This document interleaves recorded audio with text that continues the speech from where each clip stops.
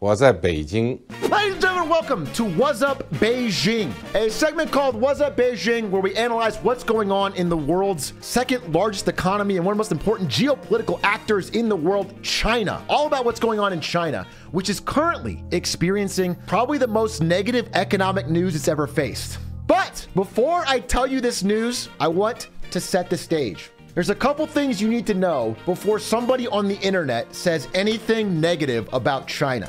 So let's talk about myself, all right? I want to tell you why I'm so interested, why I do this segment called What's Up Beijing, why I think it's important to talk about. So, I am a millennial, aka a Twitch boomer. that means I was born in the 1990s. This is me. I think I was scheming about opening a Pokemon card dropshipping company or something particularly GigaChad in this photo. I was obviously starting a business of some sort.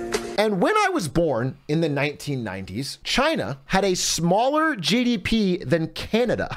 In the subsequent 20 or so years, you know, between the mid 90s and now, basically my entire life, all right, going to school, going to college, getting a job, every single year of my life as I grew up, China grew immensely at a rate pretty much unheard of in human history. Until today, they are now the second largest economy in the world, knocking on the door of first.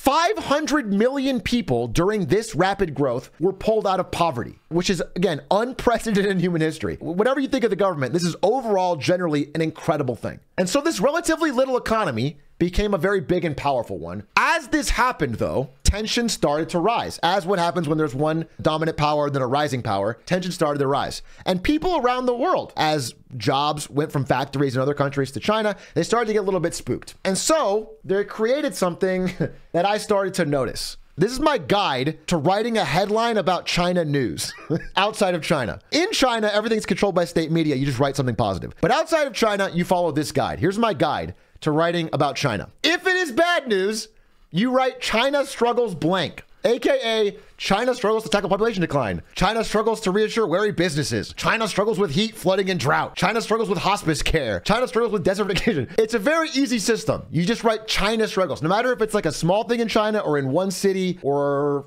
isolated or local or one person, China as a whole struggles blank. It's great. The harder part is if there's good news. And I've cracked this case as well. If you need to write a headline about China having any good news, you put blank at what cost. China's getting smarter, but at what cost? Wuhan has no more COVID cases, but at what cost? Serbia has rolled out the red carpet to China, but at what cost? Green transition in China? At what cost?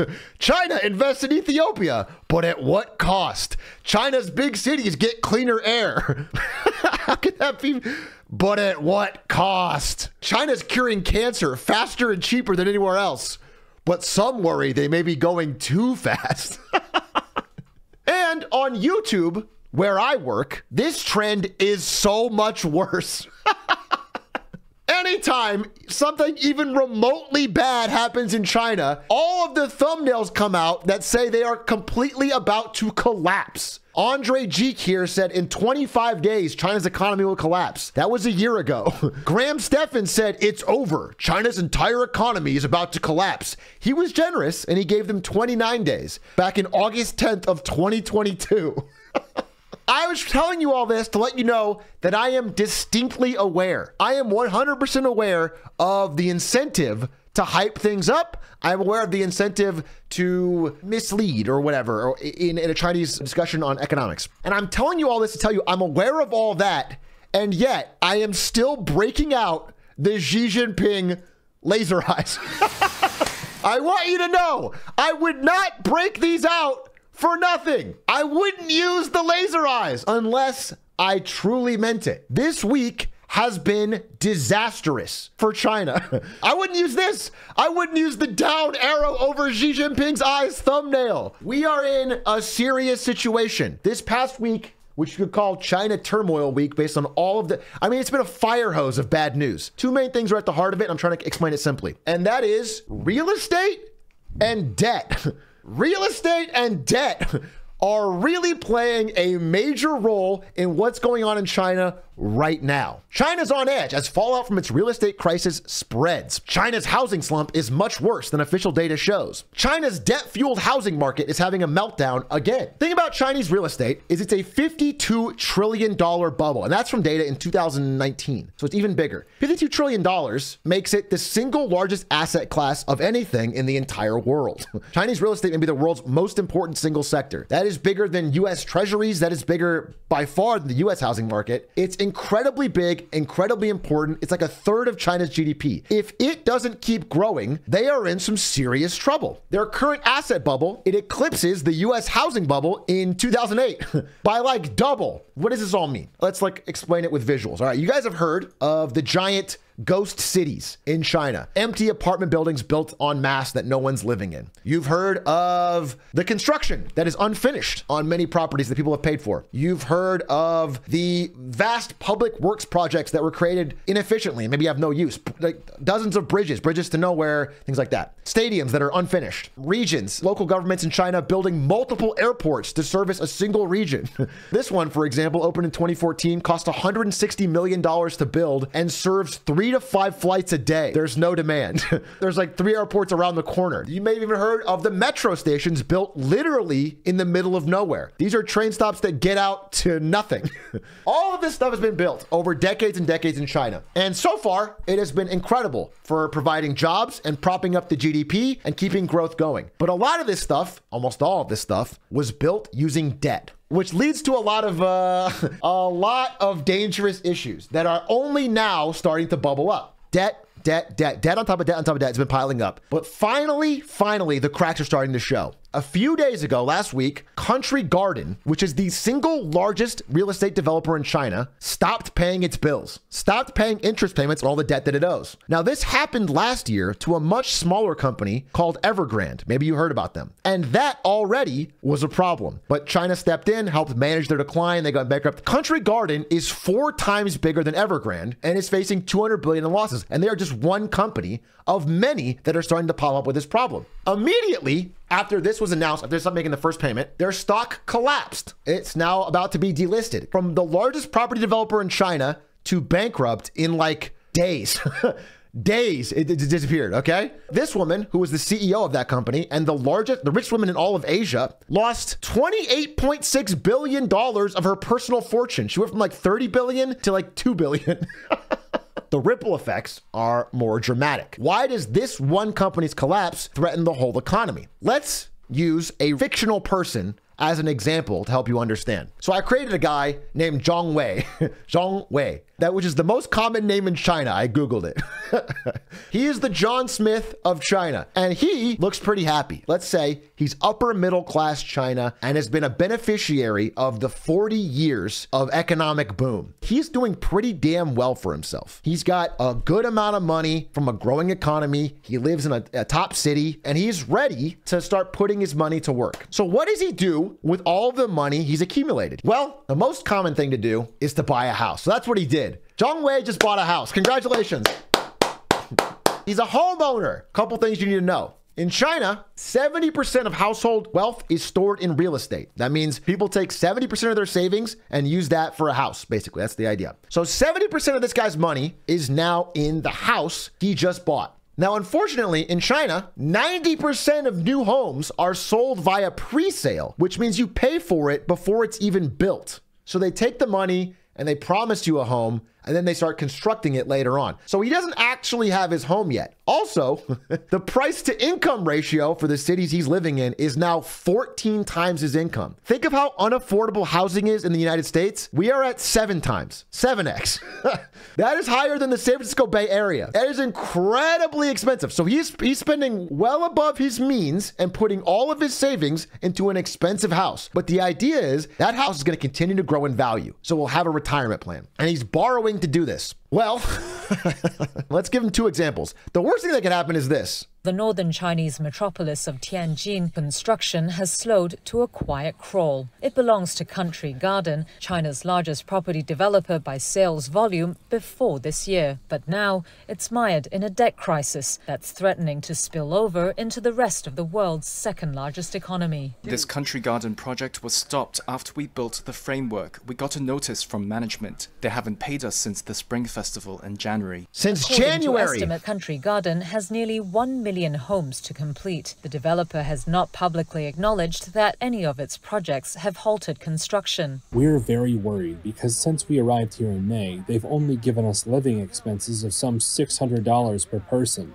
We've not received a cent of other payments. So, there's a really good chance your home doesn't even get built. For example, if you use Country Garden, they are likely facing bankruptcy and will not be finishing the home that you already prepaid for. That's bad. They poured their savings into homes that were never built. That's from January. That's before even things got bad. To Tang Chao, the apartment in Northeast China was where he and his wife were going to start a new life together. They put tens of thousands of dollars down for it, but months past its scheduled completion, only a concrete shell with wiring is all that's there. Soon, even their marriage unraveled. They poured all their savings into this and they don't get a house. What these and hundreds of thousands of other Chinese homebuyers couldn't have known was that the decades long real estate boom would come to a sudden halt. Developers are running out of money. Here's a woman saying, We never imagined homes would go unfinished in Shanghai. How would it be possible? She paid 500,000 USD for an apartment in Shanghai that is not being built. Again, prepaid. Some of them put money down, some of them prepaid the whole thing, some of them paid half and are paying a mortgage for a home that is not being constructed. They are still paying the debt that they borrowed from a bank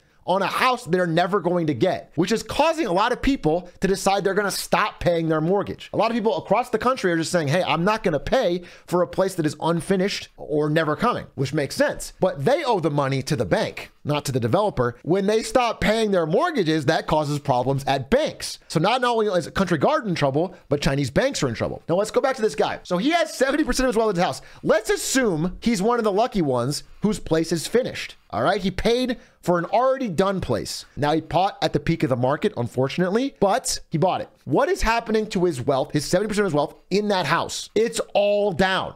We are seeing alarming home price declines in basically every region in China by well over 10%, like 10, 15, 20%. So if you put 70% of your wealth in a house that you think is going to go up and it drops by a fifth in just in a year with you know more gloom to come, that becomes very scary. Suddenly you don't want to invest in a business, suddenly you don't want to start a family, suddenly you don't feel as secure. This is all bad for the economy.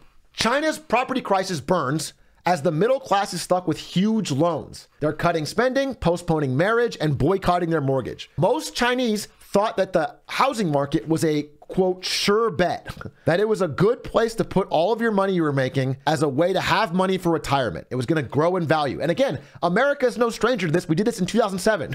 Everybody thought housing was a sure bet. You put your money into it, it'll always go up. Well, it's not going up. That being said, China's problems extend even further than that on average, Chinese do not invest as much in stock market as other countries. They're, they're less likely to trust it. But let's say he puts 10% of his money in the Hang Seng, the Hong Kong stock market. That's down too.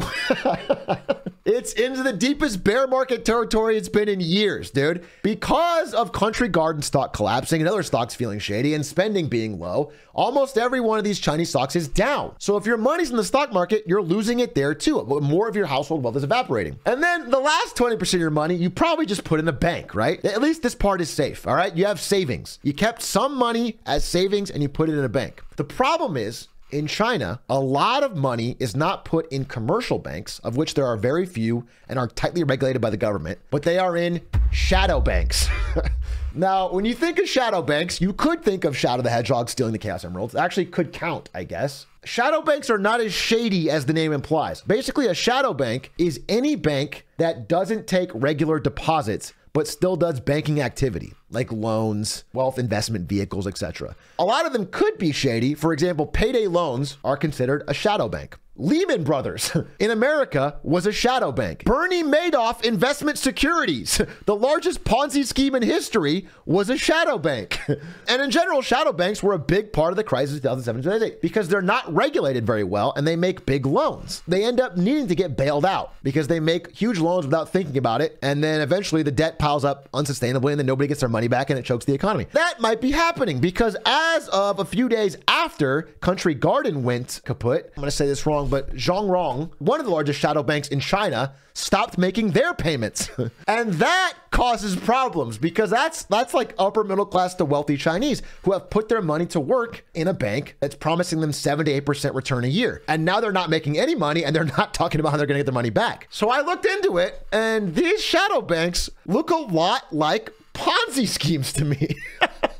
They require a certain minimum investment and they promise 7 to 9% yield, well above regular banks. But how do they earn that higher yield? It looks like they do a thing called a cash pool. A cash pool, as far as I can understand, is a nice way of saying a Ponzi scheme, where they take all the money, they put it in a pool, and they use new entrants to repay old entrants.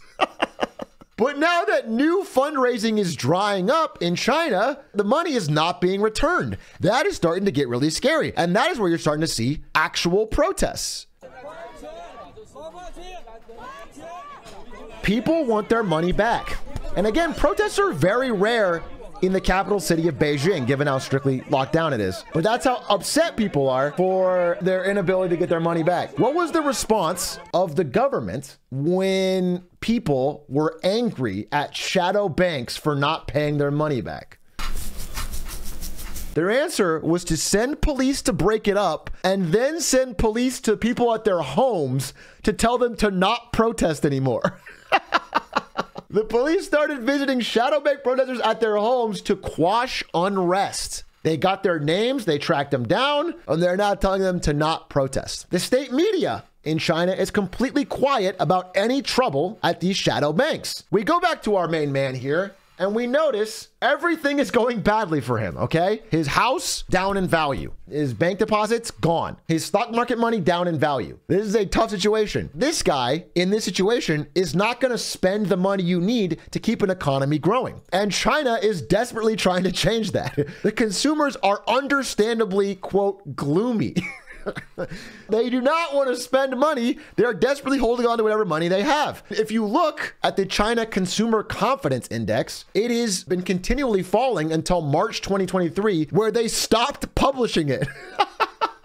they just straight up stopped, which implies that the next data point was going to be pretty bad. So, what is our guy to do? I guess he could keep all of his money in cash, not invest in anything, and keep all of his money in cash. Except at the exact same time, China's currency is experiencing a big devaluation. China's currency is at the lowest point it's been since in uh, over 15, 16 years. And you'll notice ever since Xi Jinping took office right at the peak, it has basically been trending down. So even if you hold your money in cash, it's worth less and less as time goes by. And all of this could maybe be okay. Maybe it's something you could ride out. Maybe it's a temporarily debt bubble. You could maybe print some money, figure it out, stretch out the debts over a while, and eventually things bounce back. The problem is China doesn't have time because for the first time in six decades, their population has started to fall and it will never go back to where it was. They peaked in 2022. Now, every year, there are fewer Chinese people, which means if you already have too many houses and too many apartments, next year, there's even more too many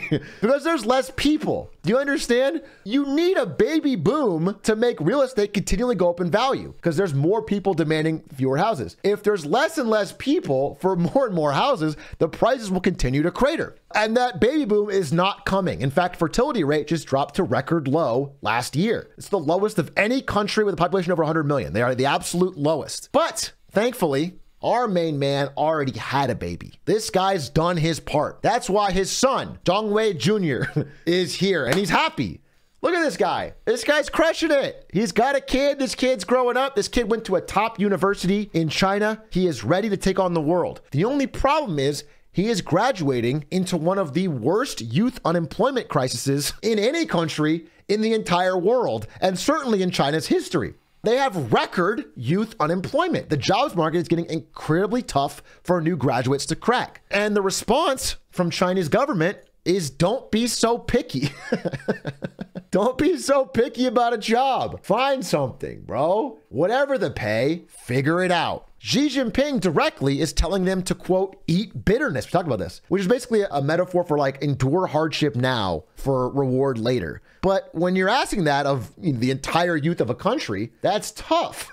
especially as they're going to be required more and more to take care of an aging population that is massive. By the way, these statistics on youth unemployment seen in pink here have only gotten higher and higher and higher into this year. They hit a record of 21.3% in June. We talked about that on this channel. And then they stopped reporting it.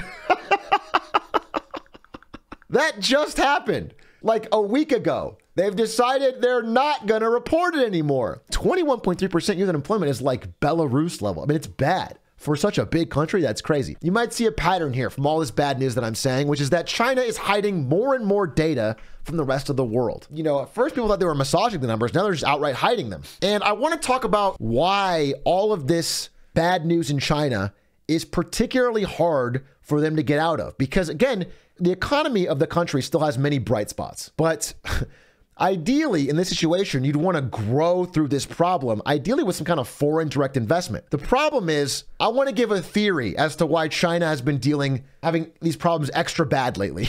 and it starts with this man. So I try on this show to take complex economic concepts and find a simple way to say them that maybe will stick in your brain. So I've come up with one. I came up with it I came up with it in bed last night, actually, when I was falling asleep. So I'm going to try and say it in, in, in a few uh, words. All right, here they are. Here's my theory on why things are getting so much worse recently. Xi Jinping is scaring the hose.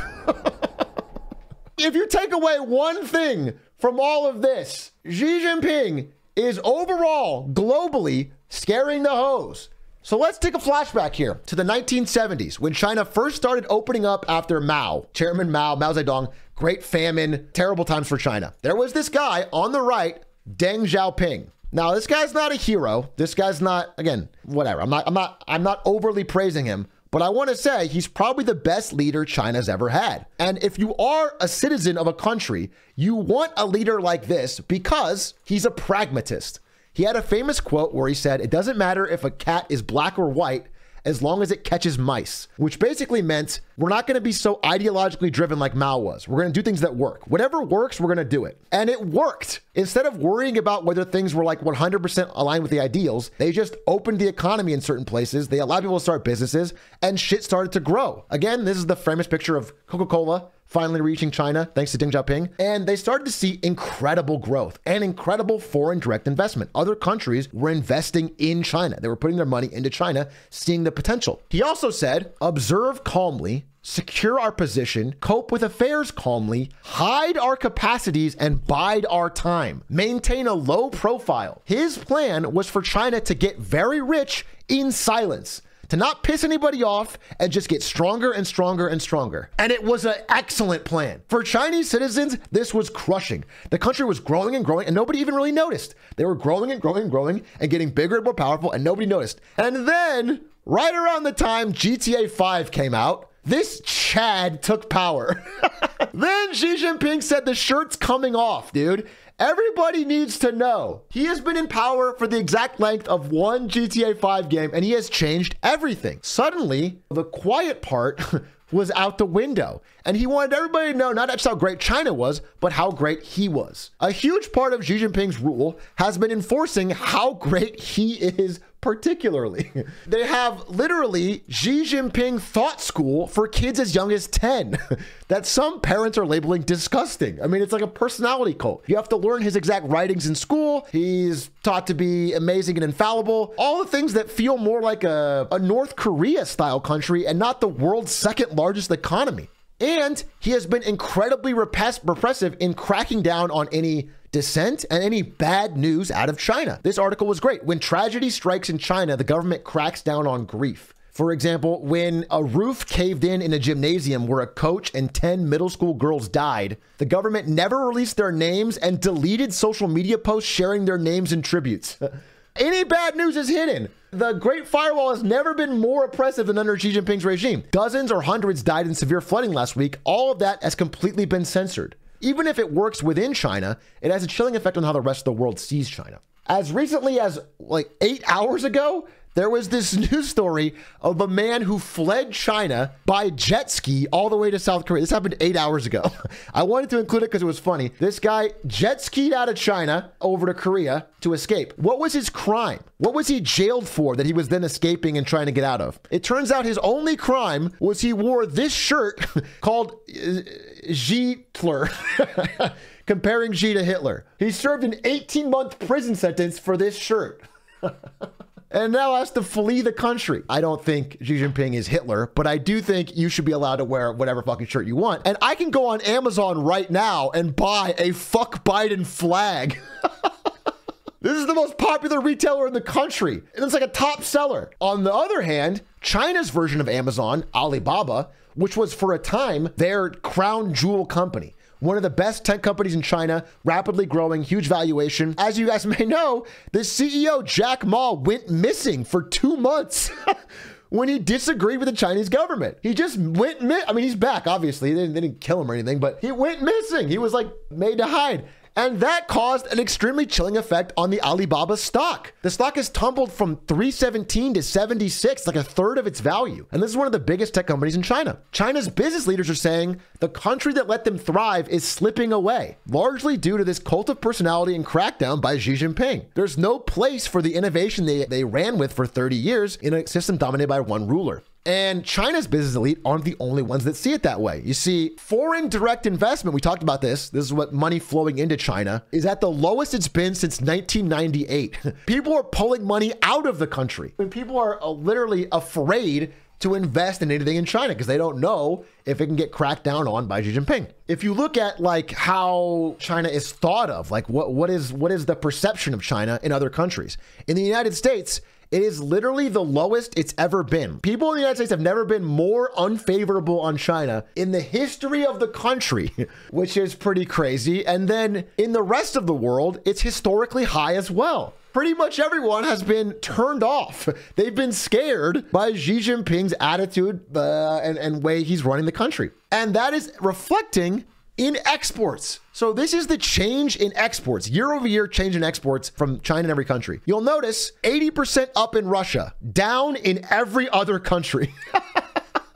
Every single other country is importing less stuff from China, except for Russia. Russia's obviously getting more because they have no other trading partners. That is not what you want as you're already going into an economic slowdown. You want this stuff to be up. It's very important that your trade is doing well when your real estate market's collapsing. Additionally, despite being the dominant economic power in Asia, they don't have a ton of friends around them. Japan, South Korea, Taiwan, Philippines, India are all either foes or frenemies at best. They're surrounded on all sides by neighbors that are not as friendly as they'd like to be, given their ability to be their dominant trading partner. Oh, by the way, a few days ago, Japan, Korea, and the United States signed a trilateral partnership for defense. Japan and Korea are right on China's borders. They should be close friends with China's. Instead, they're signing deals with Biden. So, what is China's plan? What is, what is their plan for all of this? Step one is BRICS.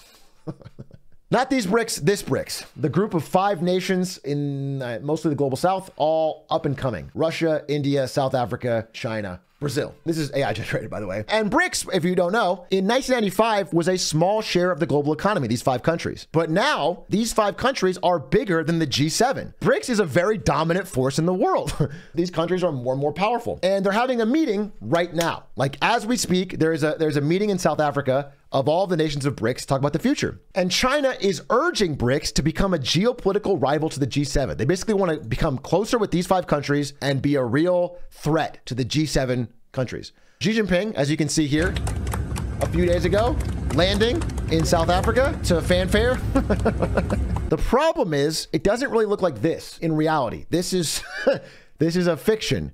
In reality, Vladimir Putin can't even attend because he's wanted for international war crimes.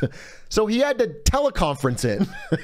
Xi Jinping, despite being scheduled to speak, decided not to at the last second. I don't know why. And so had a deputy speak for him. I actually don't know why. I'm, I'm interested in understanding more. Their calls for accelerated BRICS expansion were kind of shot down, but the idea was to add a bunch more countries to BRICS, which they may do. But a lot of roadblocks were put up today by India and Brazil, who have both been trying to get a little bit cozier with the West lately. Specifically, Biden called Lula last week. they were talking. They were talking before this event. Next week, Biden's flying to India to meet with uh, with Modi. In July, Modi and Biden raised a toast to everlasting friendship. So clearly, at the very least, India, which is by far the most important member of BRICS other than China, like China really needs India more than anyone else. India is the belle of the ball right now, dude. India's playing both sides and coming out on top. Everybody wants to be friends with India. And US and India have signed a defense and tech deal this year. So clearly, they are not trying to be part of an alliance against the G7. They actually spoke out against it. Joe Biden said, India is the most important country in the world to him. Obviously, I'm assuming other than the United States, which he's the president of. But clearly, this is important. So, the BRICS plan, if it does play out, will take a lot longer and be more unsteady than I think China needs. So, what is going to happen? Is China going to collapse in 29 days? The answer is no. No. Hell no. There's no shot. Okay, there's still a very powerful economy. There are still many good things going on in China. Specifically, despite blockades, they're creating many more homegrown chips. Tasty, tasty microchips. and electric vehicles, China is dominating the market. China is becoming the number one car exporter in the world. They just passed Germany and are on track to pass Japan. Electric vehicles are the future, and China controls the market. They're doing incredibly well. There's plenty of good things. But the real estate bust is going to have serious and significant impacts. If you guys know, in the 1990s, when Japan had their real estate bust, they had two decades of lost growth, of flat growth. Two lost decades coming up on three, really. China's real estate bubble is much bigger than that, and they aren't already rich the way Japan was. They are facing some seriously tough years ahead. And when you think about it, a country that has extremely high youth unemployment. A bunch of young, mostly male men that can't find a job and aren't optimistic about the future. Mostly male men, I'm sorry. A mostly male young populace has often in history led to military action. Either those people get mad at the government or the government sends them to get mad at somebody else. I don't know. Is China preparing for war? We could ask Xi Jinping, who says yes, they are. and maybe the world should take him seriously. We may never know. What I want to say, I don't think this is going to resolve easily and peacefully like last year's Evergrande crisis. This feels much bigger, and it feels mostly like the end of 40 years of easy growth into a much more turbulent time in China ahead. And if you want to know more about that, then keep watching Wazzup Beijing every week here on Marketing Monday. Thank you for watching, and thank you for the update on this week in China.